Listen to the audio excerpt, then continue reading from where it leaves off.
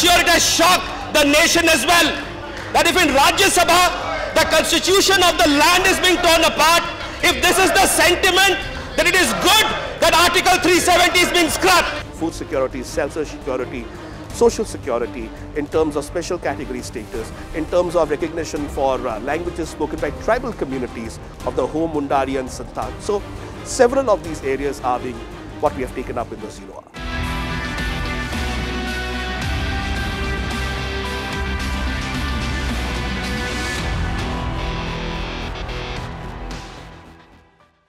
Hello and welcome viewers. You're watching this special presentation of Sansad TV, your MP, with your host Kriti Mishra. And joining us is a very special guest, floor leader of the Biju Janata Dal in the upper house of parliament, Dr. Sasmit Patra. Dr. Patra, welcome to Sansad TV and thank you so much for joining us. Second term in the upper house of parliament. Take us through your parliamentary experiences, the achievements that you see, the challenges that you encountered. I believe being the second term, obviously it has been a great blessing for me from my leader, Sri Naveen Patnaik ji, who nominated me not once but twice to the Rajya Sabha.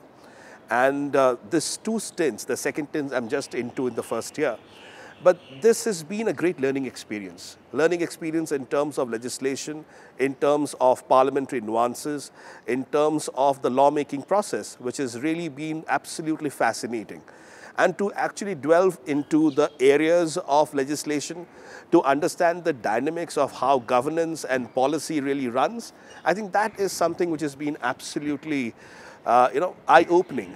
And it's a, what I would say, a lifetime opportunity to learn and to also share and contribute. I think if justice delayed is justice denied, then those under trials also need to be taken care of and we need to expedite justice for them as well. I would like to close with one specific aspect that is the need for a national and state judicial infrastructure authority. This is something which is necessary if we want to really create infrastructure that can take care of the judicial workload that requires in our country. In a country of 1.3 billion people, Vice Chairman, sir, we have very limited access to information, very limited access to infrastructure, and very limited access to the number of judges. If we do not have appropriate infrastructure, both at the national and the state levels, we will be not doing justice to the true sense of what this was actually meant to be. Your party also made you the floor leader in the upper house of parliament. What are the responsibilities as a floor leader? I think as a floor leader, my leader, Sri Naveen Patnaik, the Honorable CM of Odisha, made me the floor leader of the Biju Janata Dal in the Rajya Sabha. And one of the key areas is to ensure that as a party with nine members of parliament in the Rajya Sabha, we have to consistently perform with a single objective of governance, of legislation, and raising issues of the state of Odisha primarily in the parliament, especially the Rajya Sabha. We all understand that Rajya Sabha is considered as the Council of States. Being a Council of States, the voice of states have to really resonate in the Rajya Sabha. And as a floor leader, my responsibility is to ensure that together, all of our nine members of parliament, we coordinate, we integrate our resources, we pool our understanding, and we help each other so that we can contribute the best, whether it's in legislation and debates, whether it's in terms of issuing and talking about zero hours and special mentions, raising matters of national importance, as well as taking up issues of the Odisha state. So you specifically mentioned about all these parliamentary tools to fix the accountability of the government, of the executive. Let's go step by step. Let's talk about legislation. What are the important legislations or the discussion on the bills that you have participated in the upper house? I think uh, I've had the opportunity, some historic bills came in 2019. We of course had a number of bills since, but I think one of the key areas bills is the Article 370 abrogation, which I spoke about. I spoke about the RTI amendment in 2019, spoke on the CAA in 2019. So 2019 was a year which actually saw a number of historic bills coming in. That in this house, as a one-month-old member, I saw what happened in front of my eyes. It has shocked me, and I'm sure it has shocked the nation as well. That if in Rajya Sabha, the constitution of the land is being torn apart, if this is the sentiment, then it is good that Article 370 is being scrapped. It is good that today we are talking about Jammu and Kashmir reorganization. It is good that this action is being taken by the government on behalf of Biju Janata Dal and my honorable leader Shri Naveen Patnaik ji, I support the J&K reorganization and I support the scrapping of 370 and I also support the J&K reservation order second amendment. We believe that right to information is critical to the overall governance and the development of the country. RTI has been one of the hallmark legislations going forward, sir. One of the areas that has actually contributed to transparency and accountability in this nation has been right to information, sir. Sri Smith Patra. मान्यवर अध्यक्ष महोदय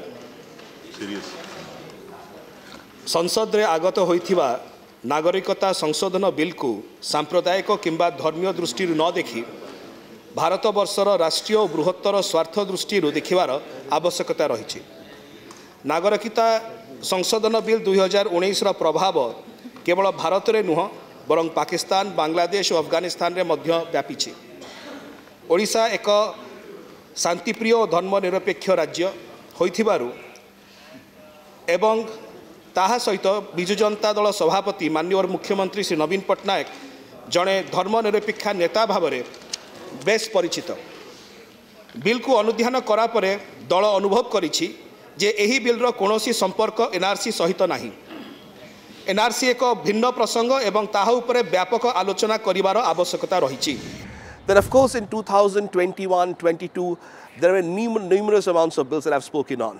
My, I remember still my maiden speech was primarily on the POXO Act. It was a very important thing. Spoke on the transgenders bill, spoke on uh, various uh, bills of uh, national and international importance. And the latest one, of course, was on the MEA Ministry of External Affairs, which talked about uh, how we can take about the ship uh, and various uh, such legislations. I think those are some critical areas that I've been speaking about. And it is kind of ranged. I've kind of tried to keep a range with uh, international relations, areas relating to internal security, areas which re- relates to corporate and finance, and to an extent economy. I think these are some of the areas that. So primarily as I rise to speak about the POCSO amendment bill, I do that in two roles. I do that in the role of a member of this house, and I also do that in a role of a father of two children, sir. And somewhere as I try to traverse both these roles, one thing is very clear that this amendment bill is a welcome amendment, and the amendments that have been made are extremely crucial in taking forward and strengthening the POCSO Act in itself. Let's talk about Zero Hour. Uh, as a parliamentary reporter, I've often seen you articulating the aspirations of people of your state. What are the important issues that you've raised through this parliamentary tool? There are a few very important critical areas of the state of Odisha that I have raised in the zero hour in the parliament. The first, of course, is the issue of the special category status for the state of Odisha. One of the key areas has always been that Odisha faces natural calamities very frequently, whether it's cyclones or otherwise. And therefore, what we find is there is a need to have a special category status or a special focus state where a 90-10 ratio of center-state sharing should be there in central programs, which would ensure that the state is able to benefit, especially when they are faced with calamities.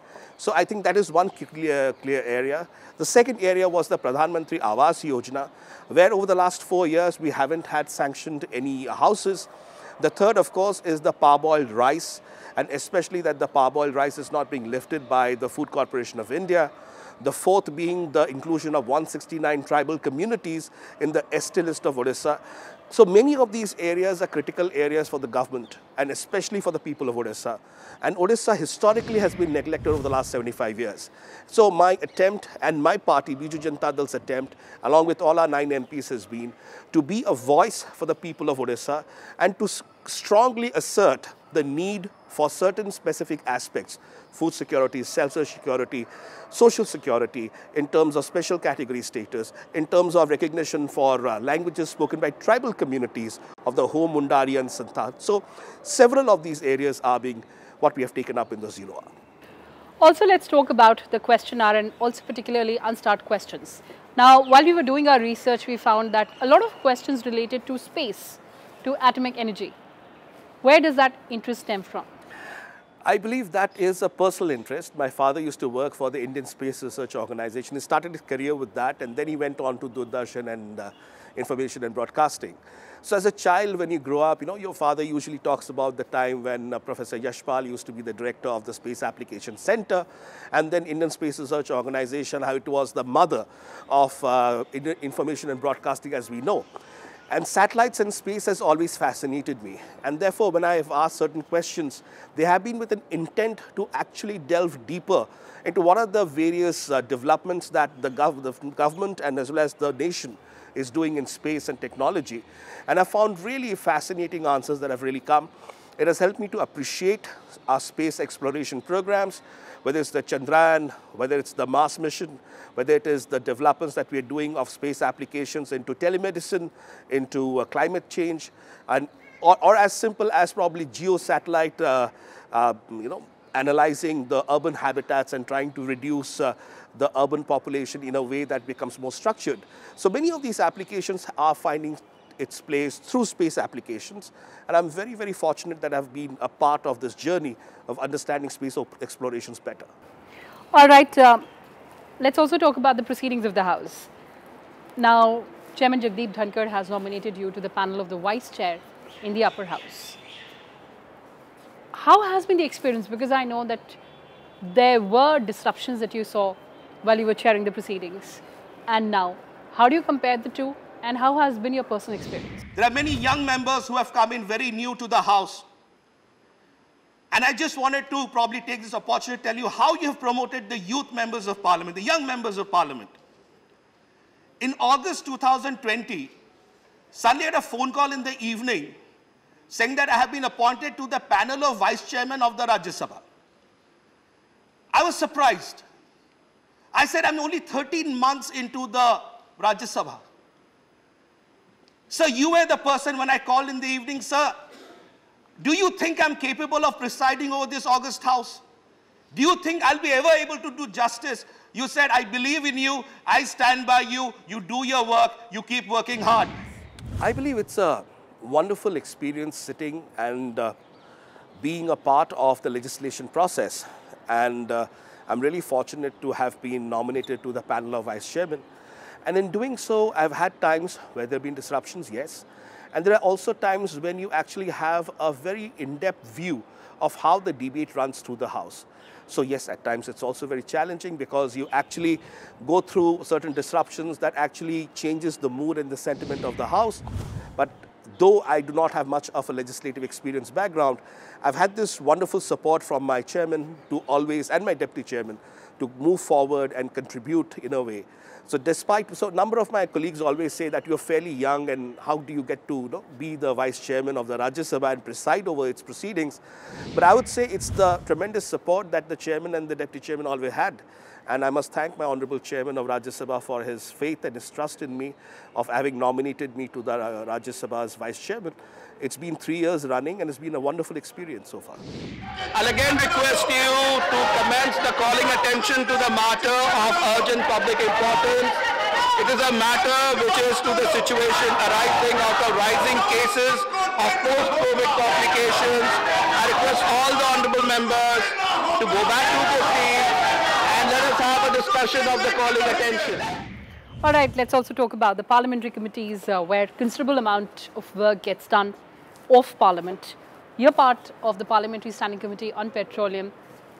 How do you assess the importance of these committees? And of course, I'll also talk about your contribution and your participation. I started my career in 2019 with the Parliamentary Committee on Education, which was known as HRD. Then I moved to the Committee on Law and Justice, and now I'm in the Committee on Petroleum and Natural Gas. Petroleum and natural gas has a lot of uh, importance, especially today. And my contribution in the community is trying to understand how we can move from being a fossil-based energy, petroleum, natural gas uh, dependent nation to going to become one which is going to adhere by the G20 and by the COP27 thought processes of becoming a carbon net zero by 2070. So that's a huge leap in terms of energy security. So petroleum and natural gas, there's going to be a shift. How are our public sector undertakings really serious, are ready with it? I, I must tell you off the record, in fact, we are on the record as well, but the fact is that I have found that our public sector undertakings of the petroleum and natural gas have been doing phenomenal work in becoming more and more ready as we go forward into trying to move from a fossil-based energy to becoming more and more resilient in renewable and new sources of energy. And they're doing remarkable contribution in recycling. Recently, if you've seen, Honorable Prime Minister was wearing a jacket made of uh, uh, renewable and renewed uh, plastic polymers. So I think there are many such things that are really being done by the petroleum and natural gas. They're also trying to minimize the effects of uh, fossil fuel impact in carbon. I think that's a wonderful experience. Prior to that, Law and Justice, had the opportunity to be there when the mediation bill came for discussion. Apart from that, various reforms that are being planned through the legal system. And prior to that, in the Standing Committee on Education, we had the opportunity to discuss the national education policy. So there have been some really notable areas where we've got this opportunity to contribute. And having been a professor in my earlier stint, it has been always fascinating to read, understand, and share my views. And these parliamentary committees are instruments that actually gives parliamentarians the right platform to be able to discuss, to be able to debate, and to be able to really delve deeper, which you cannot do inside the parliament on specific issues. Absolutely. Since you talked about the stint as a professor, we also understand uh, that you're a lawyer as well. Now, this amalgamation of legislature and judiciary, I'm sure it comes very handy for you when you discuss about bills or when you discuss about the issues of the country. It does, especially because having been a lawyer now and in this stint, what it really does is lawmaking, the understanding and nuancing of lawmaking comes from the idea of understanding law in itself. It's actually a paradox, I sometimes think, that we are into legislation and lawmaking, but many a times, do we really understand what's jurisprudence? Do we understand the basic principles of law? So I believe when we debate and discuss, we do it from a perspective of a social impact on society, which is right, and that is how it should be. But also this understanding of law, when what comes from a lawyer, it also helps you to really rationalize and see what effects of that would be reasonably adaptable within the legislation framework and thereby be acceptable in the framework of law itself, and which of that would actually be relevant to social impact. So sometimes in the verge of social impact, you feel certain clauses should be made that would really make it more robust, but probably it may not be relevant looking at the larger impact it would make in terms of law itself, whether it would be, it would be able to withstand the scrutiny of law, if I may say, and whether it would stand the scrutiny of the courts as well. So therefore, this experience of being a professor as well as a lawyer, amalgamating together, helps me to appreciate it better and probably make better sense of it. Absolutely, Dr. Patra, that's a very legit point that you raised. But going ahead, what are what would be your uh, priorities in terms of the issues of your state or perhaps the national issues? I believe the state of Odisha requires more resources going forward. One of the key areas that in the federal structure our nation has always provided for is a strong union, but also equally strong states. And my firm opinion is that as a, as a parliamentarian coming from the state of Odisha, as well as belonging to the Biju Janata Dal, my party, and because we are in government in Biju Janata Dal in Odisha for the last 23 years and counting, and our Chief Minister Sri Naveen Patnaik ji has been there in government since the year 2000 as the Chief Minister. There are many key areas of Odisha that needs to be actually espoused and talked about in the Parliament. और मेरे लिए खासकर गर्व की विषय है गर्व का विषय क्यों है क्योंकि ओडिशा की बेटी आज राष्ट्रपति है इसलिए ओडिशा का गर्व है भारत का गर्व है राष्ट्र का गर्व है हम सब के लिए गर्व के विषय है बट मान्यवर जब नारी शक्ति की बात आती है कहीं ना कहीं मेरे हृदय में एक सवाल आता है वुमेन्स रिजर्वेशन बिल आज कहाँ है आज इस सदन में क्यों नहीं है? जब एक महिला राष्ट्रपति, आज राष्ट्रपति भवन में खड़ी है, आज वो सदन में क्यों नहीं है? दस साल हो चुके हैं मान्यवर, और कितने साल चाहिए होंगे? जब भी महिला संरक्षण बिल आएगा इस सदन में, बीजू जनता दल और मेरे नेता श्री नवीन पटनायक जी सामने खड़े होंगे उसको समर्थन में। ये वादा, ये आश्वासन मैं सदन को देता हूँ बीजू जनता दल की तरफ़ से। बड़ी खूबसूरत योजना है, प्रधानमंत्री आवास योजना। मान्यवर हाउसिंग फॉर ऑल होना चाहिए। सबको घर मिलना चाहिए। तो मान्यवर, एक सवाल मेरे दिल में आ रहा है, उड़ीसा के सात लाख लोग आज उससे वंचित क्यों हैं? आज उड़ीसा के सात लाख लोग जो वेट कर रहे हैं, अपेक्षा में है कि हमें प्रधानमंत्री आवास योजना मिलेगा। कब मिलेगा मान्यवर? एक सौ उनहत्तर 169 कम्युनिटीज उड़ीसा में आज भी इंतज़ार कर रहे हैं। कब उनको एसटी लिस्ट में उड़ीसा के शामिल किया जाएगा? ये मैं कोई टीका टिप्पणी नहीं कर रहा इस सरकार या उस सरकार पे। 40 साल में कई सरकारें आई, कई सरकारें गई। क्या ये 169 कम्युनिटीज एक संप्रदाय जो है ट्राइबल के हक से जो है वंचित है, क्या उनको नहीं मिलना चाहिए मान्यवर? मगर आज हमारे आदिवासी भाई बहनों के लिए अगर हम हृदय रोता है तो हो मुंडारी और भूमिज भाषा, जैसे संथाली भाषा को आपने एट शेड्यूल में दिया, उनको क्यों नहीं दे रहे? देना चाहिए मान्यवर। So these and many of these issues are critical, whether it's about women's empowerment, the passage of women's reservation bill. I remember my first uh, zero hour when I came to Parliament 2019 was the women's reservation bill. And even in the last uh, session, the, the, pre, the budget session that started in the first part, in the address and motion of thanks to the Honorable President's address, I mentioned about uh, Women's Reservation Bill, which is also very important and very strong to our party, the Biju Janata Dal, and our leader, Shri Naveen Patnaik ji. So many of these issues are key issues. They're national issues and they're also state issues. And they need to be addressed in right earnest. Absolutely, Dr. Patra. Thank you so much for sharing uh, that vision with us and all the very best for all your future endeavors. Well, viewers, that's all we had for you in this edition. Thanks for watching and stay tuned to Sansad TV. Goodbye for now from my side.